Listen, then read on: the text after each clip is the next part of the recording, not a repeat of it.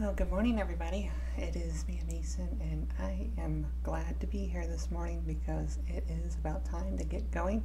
And I want to give a huge shout out to everybody that did a wonderful election race because we turned the Kentucky governorship blue, Virginia blue, and it's time that we also change Maryland blue.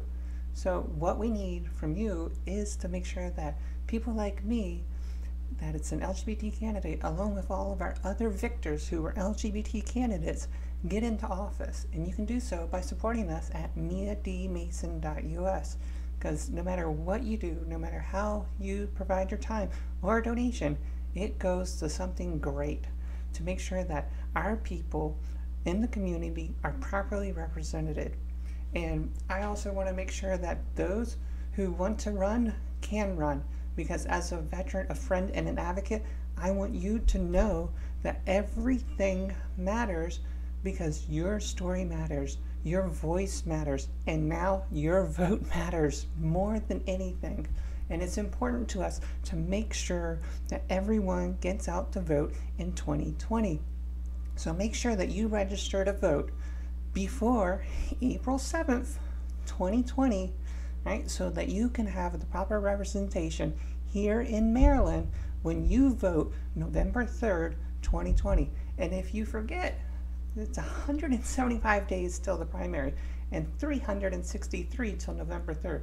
So honestly, from me to you, your friends, your families, your neighbors, and all of the advocates that are already who have won that get sworn in later this year to their new office or re-election, it is perfectly cool to reach out to them and say congratulations because they deserve it. And we need to make sure that here in maryland that we turn our state fully blue.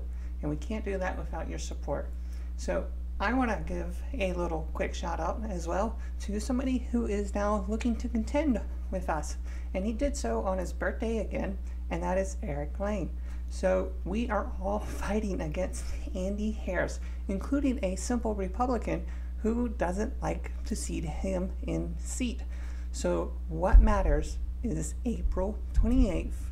You come out and make sure that your vote matters because we're going to be talking about our education, our healthcare, our infrastructure, and we are going to be doing this today as we go talk to the suppliers that are in Baltimore that need that diversity to make sure that we reach out to our communities. And then tonight we're going to be speaking in Aberdeen, and you can find all of this information on our Facebook page, Mia D.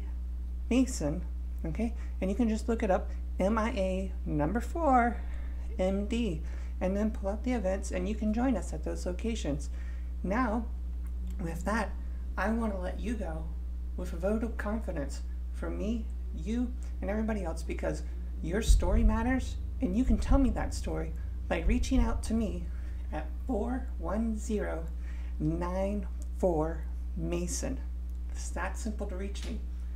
You can tell me your story, and your voice will be heard with or without your name because this is what matters when we go into the election in 2020 because we have to end discrimination.